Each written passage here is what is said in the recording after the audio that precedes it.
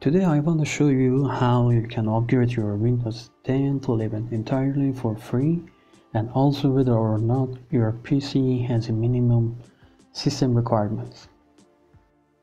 Obviously it's better if your PC has requirements change it to Windows 11. Before upgrade your Windows to 11 you must be check your computer even capable for Windows 11. To find out, click on the link in the description part. Also, you can manually check minimum system requirements or download PC Health Check app.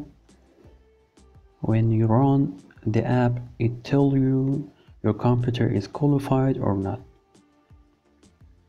After installing the app, click on check now if your system verified by this app, make a backup of your files because it's possible lost your files during installing your Windows 11. To upgrade to Windows 11, click on Start menu, then click on Setting and then select Updates and Security. And in right part, you can see download and install to Windows 11 click on accept and install it may take a few hours if your PC doesn't qualify maybe your Windows isn't start completely.